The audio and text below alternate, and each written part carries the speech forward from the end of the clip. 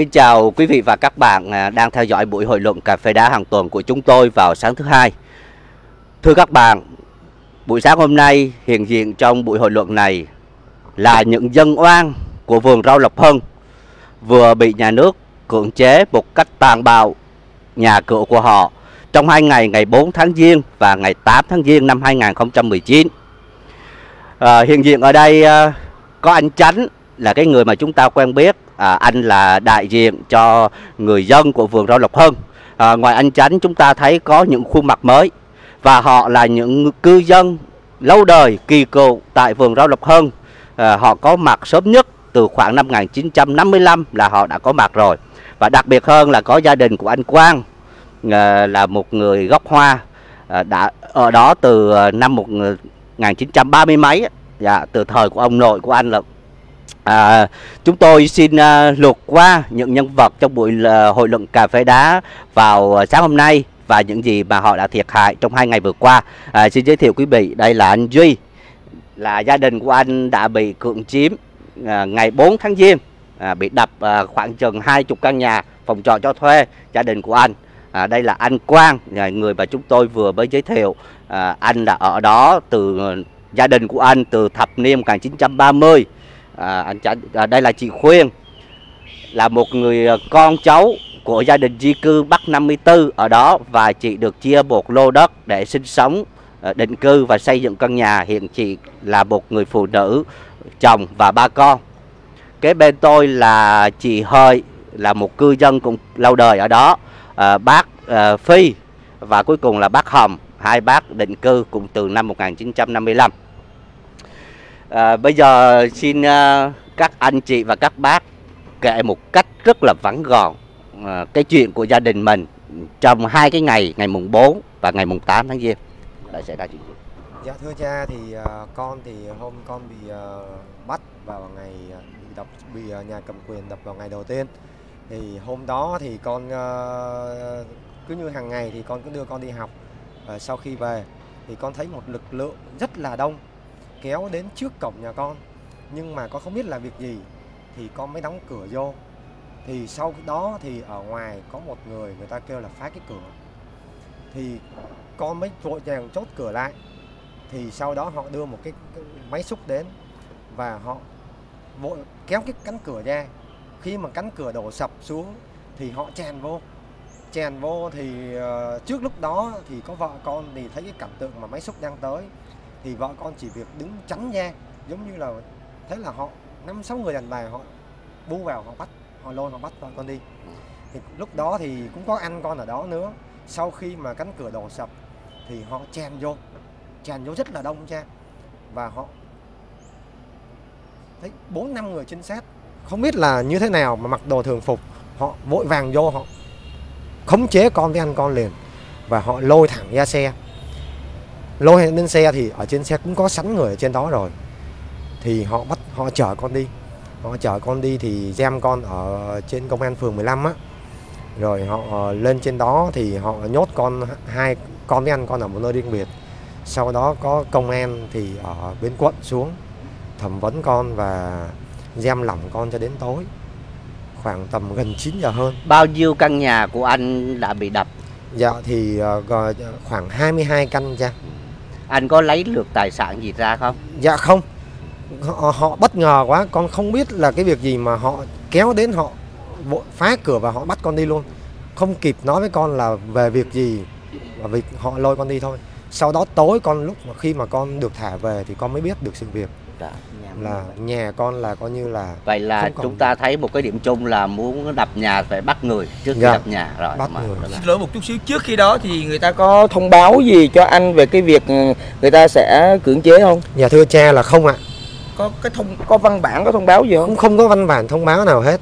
À, rồi mời anh dạ. Quang. Dạ. con chào tất cả các cha và các anh chị em trong uh, hội vườn rau hôm nay uh, con ngồi đây uống cà phê với cha và tất cả để nói lên sự đau lòng của gia đình con. Để đau lòng sự đau lòng trên gia, đình của con đã bị nhà cầm quyền cộng sản cướp đi tài sản và tất cả đất đai trên mảnh đất mà cha ông con đã dày dựng nên ba đời nay đời con là ba đời đời con cháu con của con đó là bốn đời nay rồi. Trên bảy chục năm nay, con chưa bao giờ thấy cái hoàn cảnh mà cướp đất và cướp của quá dã man của nhà cầm quyền cộng sản như ngày hôm nay. Ở đây con muốn nói lên sự thật là người ta phải thông báo cho gia đình tất cả bà con trên vườn, trên mảnh đất sinh sống về ngày rau, ngày xưa.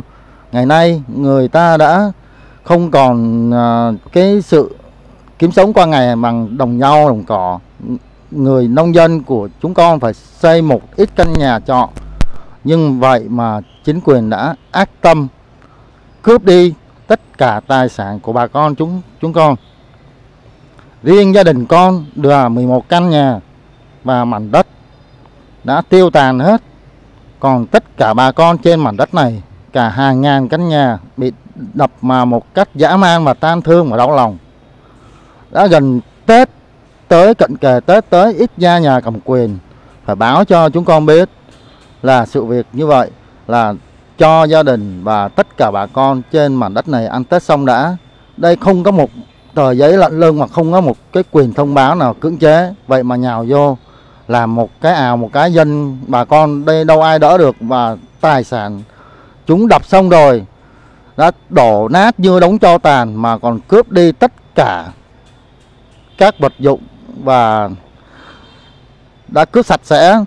Trong khi đó, con là người dân, có đất và có nhà bị đập. Vô tới ruộng 7 giờ tối, con không nhắm mở cái đèn lên. Khi con tới cái tròi của con là bằng tôn thôi, hôm mùng 8 tháng 1 vừa rồi, là nhà cầm quyền mở, kêu mở tròi cho con ờ, cho người ta coi con nghĩ là chưa làm đâu. Ai về đâu mở vừa được mở bốn tấm tôn ra kêu máy xúc tới xúc sạch sẽ. Rồi tiền bạc con còn 10 triệu trong cái thùng hột giống để để hột giống mà nó quạt đến nó không kiếm ra được luôn. Tới này mất uh, trắng 10 triệu là hết tiền ăn Tết. Và tất cả gà vịt bắt không được còn bắt được một số ít thôi còn một số ít bay loạn soạn bắt không được nó. Đâm ra cũng mất luôn là tất cả tài sản à, coi như gia đình con đeo tàn hết hôm nay ngồi trước uh, tất cả bà con ở đây chỉ có mấy người đại diện bà con trong trong vườn giao Lộc Hưng ngày hôm nay sự đau tàn và thương xót. Con mong rằng tất cả bà con hãy hướng về trên có trời dưới có Chúa và Đức Chúa Trời ở trên nữa. Một lần nữa xin ban ơn và xin cầu ơn các thần thánh cứu hộ chúng con là sự khỏi oan ức. Này con xin à, cảm ơn anh anh rất là xúc động. À, xin uh, thêm thông tin anh là người ngoài công giáo anh không phải là người người công giáo. À, trong cái cái vườn rau lộc hưng á à, không phải hoàn toàn là những người công giáo đâu thưa anh chị em có những người là những người công giáo và những người như gia đình của anh Quang đây là một người ngoài công giáo. À, anh đang canh tác trên cái mảnh đất từ thời ông nội của anh. Hiện tại thì anh trồng rau và chăn nuôi ở đó. Chúng ta vừa mới nghe câu chuyện là anh dành dụm 10 triệu đồng anh để trong cái bịch giống cái hạt giống bịch rau trong cái cái cái cái, cái trong căn nhà đó. Mà khi cưỡng chế đập nát căn nhà thì tiền anh quay lại tiền cũng không còn luôn à, đó là một cái sự đau thương uh, mà chúng ta ghi nhận uh, hiệp thông và sẽ đi tìm lại công lý hòa bình cho anh hồi uh, ngày mùng 8 buổi tối mùng 8 á, thì có một cái tiếng súng nổ như vậy đó dạ. thì có liên quan gì đến anh không anh? Dạ có thưa cha. Cái tiếng súng nổ đó là lúc đó con đi ra lấy đồ và lục lại cái số tiền còn nhà chính quyền đã đập cái tròi của con xuống mà không thấy đâu hết. Thì buổi trưa hôm đó con nhận một số gà vịt về thì còn tiền, tài sản giống chưa lấy ra được. Thì tối đó là với một số đồ nghề cũng đi làm nữa. Có xin họ vô. Chính người cầm loa đã ra lệnh cho công an và lực lượng đồng cố xuống để cưỡng chế con ra ngoài đất. Nhưng lúc đó người ta chạy xuống, người ta không biết gì hết. Ờ, ông ờ, cái anh cầm loa mới ra lệnh bắt bắt con ra khỏi và cưỡng chế con ra khỏi đất. Nó đất của tôi đây này đất của tôi đã mất rồi tài sản của tôi đã mất rồi. Mấy ông đập nát nhà tan cửa nát vậy chưa đủ sao? Con mới đi lấy kiếm mớ tiền và nhất để ăn tết. À, mấy ông nhỡ nhẫn tâm nào mà lấy đi tài sản như vậy? Con mới bước được hai bước. Cảnh sát tới chạy tới móc súng bắn. Bắn con một phát chỉ thêm con nói ngực con đây bắn luôn đi. Thân xác tôi chỉ một mình tôi trên đất này thôi mà trong khi đó tôi đâu làm gì mấy anh hùng hổ như vậy. Sự đời còn dài lắm mấy anh đừng làm lấy thịt mà đè người. Chúng tôi là người dân lương thiện. À, không ngờ ngay nay ngày nay tàn sát chúng tôi như vậy. Cái chính quyền này không biết ngày mai đi về đâu. Con xin phép. À, mời à, chị Khuyên à, là một người mẹ với ba đứa con còn nhỏ. Quyền nhà trong cái cuộc à, chạy gọi là chạy loạn đó. Thì chị kể cho mọi người nghe. Dạ, con chào cha và cộng đoàn. Thì à, con à, cũng xin à, kể lại cái sự việc hôm ngày mùng 8 là con là nạn nhân bị bắt. À, khi mà nhà cầm quyền đưa người tới thì con cũng ở trong gia đình của con và 5 giờ 30 sáng là nhà cầm quyền đã cho lực lượng bao vây phong tỏa hết khu vườn rau bà con chúng con thì chúng con không có thể nào mà đi ra ngoài được thì chỉ có ở trong gia đình mình thôi. Khi chính quyền à, ập tới thì toàn bộ à, gia đình con vẫn còn ở trong nhà. Có ba đứa nhỏ ở trong nhà và vợ chồng con cũng ở nhà. Thì à, khi mà chính quyền à, à, ập tới cưỡng chế đất nhà con à, bắt đầu à, à, cưỡng chế đất thì à, có vợ chồng con đứng ở bên ngoài có ba đứa nhỏ ở bên trong thì à, lúc mà chính quyền đọc xong à, à, lệnh cưỡng chế thì à, bà dì con mới hỏi rằng là à, các ông không cho tôi coi cái à, công văn biên bản của các ông như thế nào? À, hộ tôi chưa ký thì à, tại sao mà các ông lại vô cưỡng chế? À, thì lúc đó nhà cầm quyền nói à, không cho nói không cho nói và khống chế. Thì uh, chúng con cũng không biết làm gì hết chỉ biết là đứng lên và uh, giữ tất cả bảo vệ ờ, những người trong gia đình và ờ, bảo vệ ờ, bà con mình ở xung quanh đó. Thì trong khi đó nhà cầm quyền cho người đông lắm con cũng không biết được như để nói như thế nào rất là đông. Và khống chế gia đình con riêng con á, là đã 12 13 người vô khống chế rồi mà con là một người phụ nữ mới sanh nở. Thì cho 12 người phụ nữ vô khống chế một mình con con mới vùng vẫy là con mới nói rằng là à, chúng tôi à, à, mắc tội gì mà à, các anh các chị lại vô bắt chúng tôi đi như thế. Thì à, người ta không cho nói và lấy một cái mền thật là to chùm người con lại à, lôi con từ trong à, à, cái mảnh đất của con ở lôi con đi ra ngoài và quăng vô con trong xe. À, khi mà quăng con vô trong xe rồi thì à, các chị à, các nhà cầm quyền á cho người lấy cái bao xốp đen chùm mặt con lại. À, và lúc đó là con cũng ức chế lắm thì con mới nói to lên là à, chúng tôi là người dân chúng tôi mắc tội gì? À, chúng tôi à, lý do gì để bắt chúng tôi lên đây?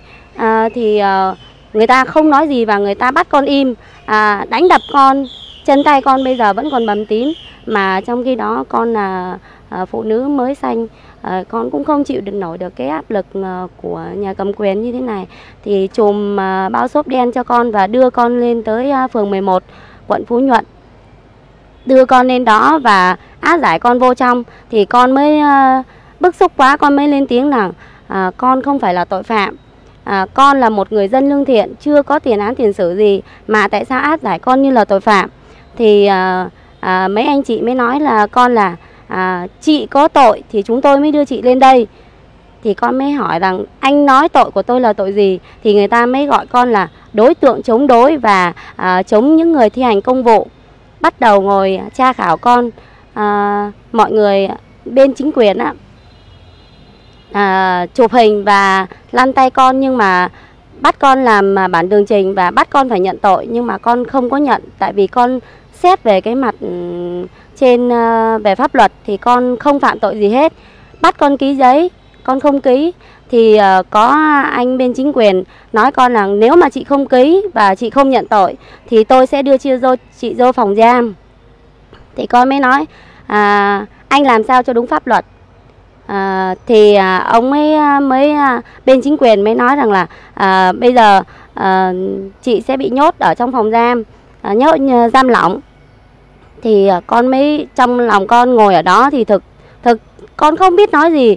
À, con chỉ biết lần hạt chuỗi mân côi sau đó à, con mới à, lần hạt chuỗi mân côi con đọc à, lần hạt chuỗi mân côi xong thì con cầu nguyện xong thì các anh à, lại tới và à, bắt con ký vào cái bản tường trình và giấy là vi phạm à, tội là à, khống chế rồi à, chống đối luật à, thi hành công vụ.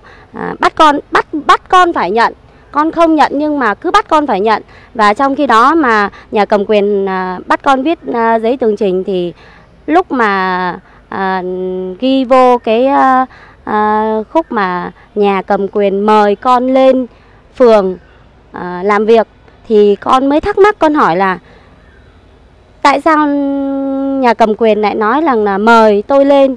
Mời ở đây có nghĩa là như thế nào? Mời mà mười mấy người bu vào, lôi kéo, đánh đập và chùm bao xốp à, đen lên mặt tôi. Vậy có nghĩa là nhà cầm quyền mời dân mời dân bằng cách đó hay sao? Thì nhà chính quyền, nhà cầm quyền nói với con một câu này, đúng, chúng tôi mời chị đó con không hiểu rằng là bây giờ luật pháp à, như thế nào mà sử dụng đối với người dân như vậy. Theo con biết được là trong 6 điều bác hồ dạy thì điều thứ 4 là phải tôn trọng và lễ phép với dân. Mà khi con bước chân lên trên uh, quận con ngồi thì con thấy nhà cầm quyền ngồi lên trên bàn tiếp dân.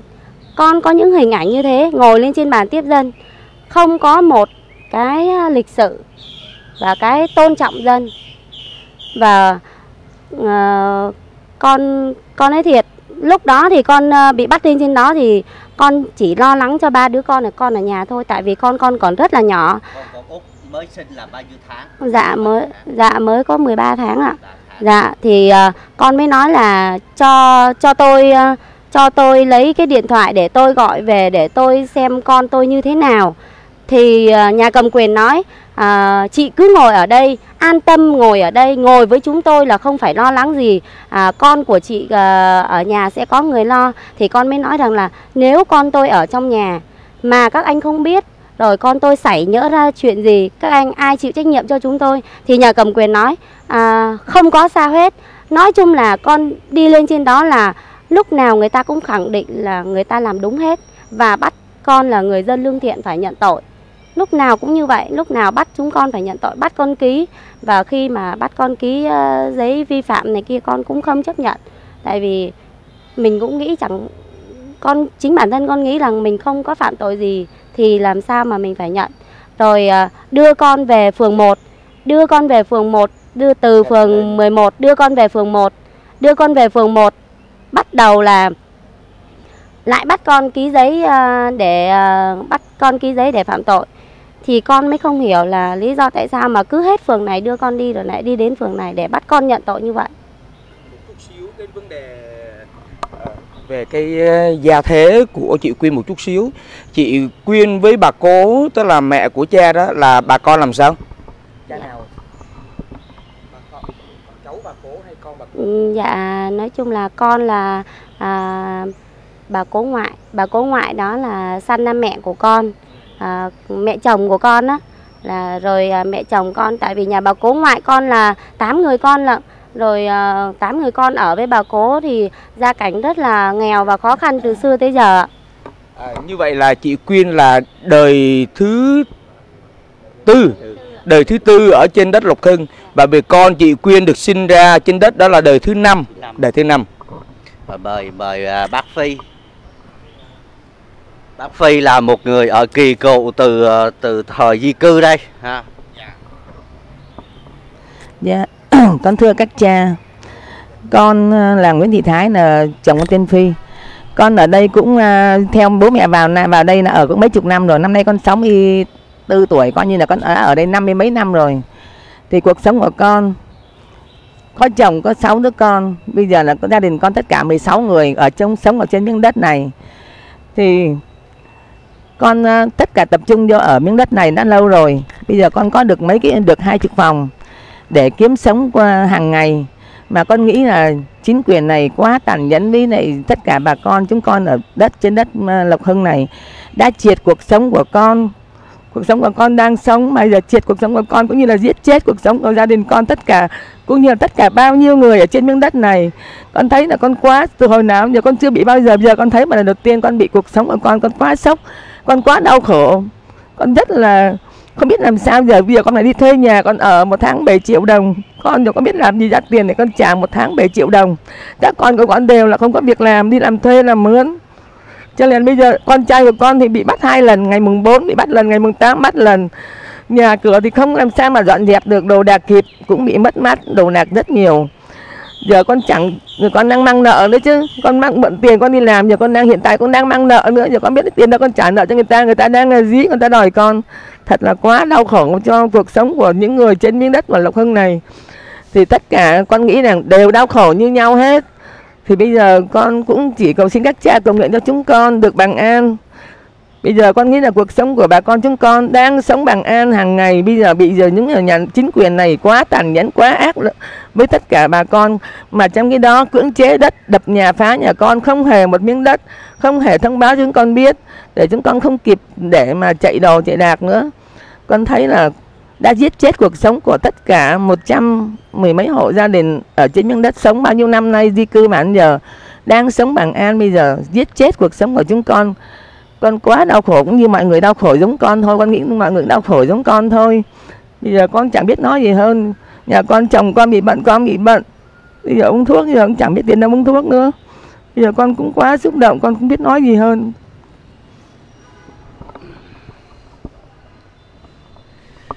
Thật là đau xót cái câu chuyện của bác. Một người ở lâu đời ở đó vừa mất nhà, mất cửa tài sản bởi vì ờ, nhà của bác là bị đập tanh bành ờ, đồ đoạt rất là nhiều. Bởi vì bác có một cái quán ăn ở đó nữa, mở một cái quán ăn ở đó nữa. Bao nhiêu là đồ đoạt trong đó thì bị đập tanh bành. Và bây giờ thì phải đi ờ, sống kiếp nhà trọ ở thuê. Và bác cũng là một người có rất là nhiều con cái, tất cả là đều ở trong một cái mảnh đất đó và bây giờ thì các con cái của bác đều phải đi ở nhà thuê hết. Ừ, tuổi già ở nhà thuê rồi mang à, bệnh tật uống thuốc nữa. Dạ. Yeah.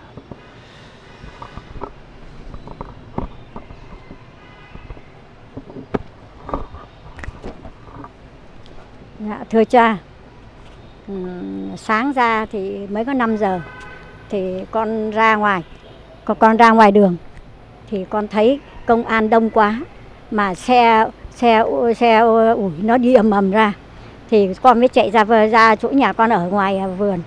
Thì đến, thì lúc bây giờ đông quá, ra vô con không ra được, không vô được nữa.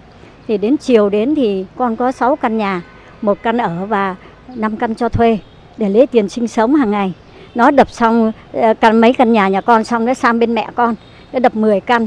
Các em con nó đang ở đấy, nó chạy đồ không kịp mà đồ đạc máy máy điện, nó sửa chữa về điện lạnh đấy bao nhiêu đồ đạc mà thất lạc hết cha. Không lôi ra được ít rồi còn nửa nửa còn nửa mất. Rồi các em con con có một thằng em thì đập xong nhà thì đến hôm sau nó nổi khùng.